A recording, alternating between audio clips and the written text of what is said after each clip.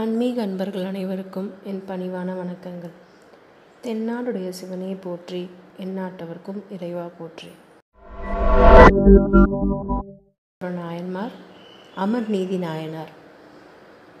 அமர் நீதி அமர்ன்ற வார்த்தைக்கு ரெண்டு பொருள் இருக்குது ஒன்று அமருதல் இல்லை உட்காருதல். இன்னொன்று விரும்புதல்.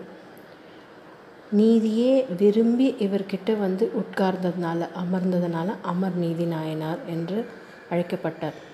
அமர் நீதி நாயனார் சோழ நாட்டில் பழையாறைன்ற ஊரில் வணிகர் குலத்தில் அவதரித்தவர். இவர் எப்படி வாணிபம் செய்தார்னு பெரிய புராணத்தில் குறிப்பிடப்பட்டிருக்கு. பல அண்டை நாடுலேருந்து அண்டை நாடுனா நம்ம இப்போ நினைக்கிற மாதிரி வெளிநாடு இல்லை பக்கத்தில் இருக்கிற சேர நாடு பாண்டிய நாடு எல்லா நாட்டிலேருந்து பல பொருட்களை வருவித்து கம்மி லாபத்துக்கு நியாயமான விலைக்கு மக்களால் விலை கொடுத்து வாங்க முடிஞ்ச விலையில் பொருளை வந்து வாணிபம் செய்தார். அந்த கிடைச்ச லாபத்தில் ஒரு பங்கு மக்கள் நலனுக்காகவே செலவும் செய்து வந்தார்.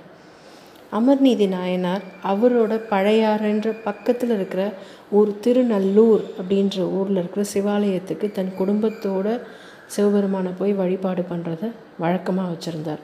இந்த மாதிரி அவர் ஒவ்வொரு முறை அவர் குடும்பத்தோடு போய் சிவாலயத்துக்கு போயிட்டு வரும்போது திருநல்லூரில் வர மக்கள் தங்கிறதுக்கு இடம் இல்லாமையும் சாப்பிட்றதுக்கு உணவுக்காகவும் தடுமாறுறதை பார்க்குறார் அதனால் அங்கே ஒரு திருமடத்தை நிறுவினார். அந்த மடத்துக்கு வர்ற எல்லாருக்கும் சிவனடியாருக்கு மட்டும் இல்லாமல் எல்லா மக்களுக்கும் அங்கே வர்றவங்களுக்கு உடுக்க உடையும் உணவும் தங்குற இடமும் கொடுத்தார். உடைன்னு சொன்னால் கோவணத்துலேருந்து அவங்களுக்கு குளிர்னா போர்வை கொடுக்குற வரைக்கும் அவர் எல்லா விதமான தொண்டும் செய்து வந்தார். இவரோட அரிய பெரிய தொண்டை வந்து மக்களுக்கு உணர்த்தணும் உலகத்துக்கு உணர்த்தணும்னு எல்லாம் வல்ல இறைவன் சிவபெருமான் முடிவு பண்ணுறார் அதனால ஒரு கோவணம் உடுத்திய சிவனடியார் மாதிரி நேராக அமர்நீதி கிட்ட வரார். சிவனடியாரை வரவேற்ற நம்ம அமர்நீதி நாயனார் உணவு உபசரிப்புக்கு தயாராகிறார். அப்போது சிவனடியார் நான் காவிரி ஆற்றில் போய் குளித்து விட்டு பிறகு உணவு உண்கிறேன். அது வரைக்கும் என்னுடைய கோவணத்தை பார்த்துக்கொள் அப்படின்னு சொல்லிட்டு ஒரு கோவணத்தை எடுத்து அமர்நீதி நாயனார்கிட்ட கொடுத்துட்டு சிவனடியார் குளிக்க போவது போல் வெளியே போகிறார் வெளியே போனவர் சிவபெருமானாச்சே மழையை வர வச்சு தன்கிட்ட இருக்க கோவணத்தையும் நனைய வச்சு அமர்நீதி நாயனார்கிட்ட இருக்கிற கோவணத்தை மறைய வச்சிடறார். மறைய வச்சுட்டு எதுவுமே நடக்காதது போல் திரும்பியும் சிவனடியார் ஸ்வரூபத்தில் போய் அமர்நீதி நாயனார்கிட்ட அப்பா நான் நனைஞ்சிட்டேன். எனக்கு குளிர் தாங்க முடியல. நான் உன்கிட்ட கொடுத்துட்டு போன கோவணத்தை எனக்கு திரும்பி கொடு அப்படின்னு போய் கேட்குறாரு அமர்நீதி நாயனார் அங்கே போய் தேடுறார். அது எங்கே இருக்கும்?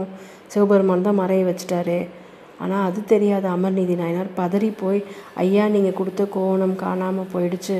நான் வேறு கோவணம் கொடுக்குறேன். புதுசானது தான் நீங்கள் அதை ஏற்றுக்கோங்கன்னு சொல்லும்போது முடியவே முடியாது. நான் கொடுத்தது தான் நீ எனக்கு கொடுக்கணும். இப்படி தான் நீ சிவனடியார்களுக்கு தொண்டு பண்ணிகிட்ருக்கியா வர்றவங்க கிட்ட இருக்கிற கோவணத்தையும் அவங்க வச்சுருக்க திருவோடியும் தான் நீ வந்து வாங்கிட்டு இப்படி ஏமாற்றிட்டு இருக்கியா இது தெரியாமல் நான் உன்கிட்ட வந்து மாட்டிக்கிட்டேனே அப்படின்னு பேச ஆரம்பிக்கிறார் சிவனடியார். பதறி போன அமர்நீதி நாயனார் இதற்கு என்னதான் வழி ஐயா? நாங்கள் நான் எதுவும் தவறு செய்யலை. எப்படி தெரியல? காணாமல் போயிடுச்சுன்னு பதறார். அப்போது சிவபெருமான் அதாவது சிவனடியார் ஸ்வரூபத்தில் இருக்க சிவபெருமானே ஒரு வழி சொல்கிறார் ஒரு தராசு எடுத்துகிட்டு வா. என்கிட்ட இருக்கிற இன்னும் ஒரு கோவணத்தை அந்த தராஸ் மேலே வைக்கிறேன். அதுக்கு ஈடாக நீ என்ன கொடுக்குறியோ அதை நான் ஏற்றுக்கிறேன் அப்படின்னு சொல்லுவார் சரி ஐயான்னு சொல்லிட்டு அமர்நீதி நாயனார் தராசு எடுத்துகிட்டு வந்து நம்ம சிவனடியார் வச்ச ஒரு கோவணத்துக்கு ஈடாக இன்னொரு பக்கத்தில் புது கோவணம் வைப்பார். மற்ற அடியார்கள் கொடுக்குற அத்தனை கோவணத்தையும் வச்சு பார்ப்பார். பட்டு பீதாமரத்தை வச்சு பார்ப்பார். முத்து பழம் என்னென்ன வைடூரியம் என்ன வச்சுருந்தாரோ உயர்ந்த பொருள் எல்லாத்தையும் வச்சு பார்ப்பார். ஆனால் அளவுகோல் வந்து இறங்கவே இறங்காது. அதாவது சிவ சிவபெருமான் கொடுத்த கோவணத்துக்கு இதுவாக இறங்கவே இறங்காது. அது தாழ்ந்தே தான் இருக்கும். கோவணம் வச்ச தட்டு தாழ்ந்தே தான் இருக்கும். அப்போது என்ன பண்ணுறதுன்னு தெரியாத அமர்நீதி நாயனார் தடுமாறி போய் சிவபெருமானை தன்னை மனசில் நினச்சிட்டு க சிவபெருமானே நான் இது வரைக்கும் பண்ண தொண்டில் எந்த குற்றமும் இல்லைன்னா நான் வந்து இப்போ என்ன நானே என்னை அர்ப்பணிக்கிறேன் இந்த தராசில். என் என்னையும் என் மனைவி என் மகன். மூணு பேருமே எங்களை நாங்களே இங்கே அளவுக்குள்ள அர்ப்பணிக்கிறோம் நீங்கள் ஏற்றுக்கணும் அப்படின்னு சொல்லிட்டு அந்த தராசில் தன்னைத்தானே தன் மனைவி தன் மகன் சமேத ஏறி நிற்கிறார் தராசு சமமாகுது. எதிரில் நின்று சிவனடியார் மறைஞ்சிடுறார். அப்போ தான் அமர்நீதி நாயனாருக்கு புரியுது. நம்மளை வந்து சோதிக்க வந்தது சிவனடியார் இல்லை சிவபெருமான் சொல்லிட்டு. சிவபெருமான் அம்பாள் சமேத காட்சி கொடுக்குறார்.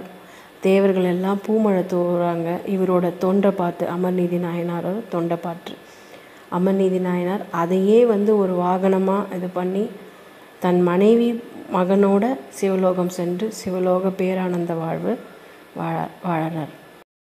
அமர்நீதி நாயனார் வரலாறுலேருந்து நமக்கு தெரிய வர்றது என்னென்னா ஒருவன் தன்னைத்தானே அர்ப்பணிக்கிறது மூலியமாக இறைவனடி சுலபமாக சேர முடியுன்றத நமக்கு தெள்ள தெளிவாக உணர்த்துது. நன்றி சிவாய நம.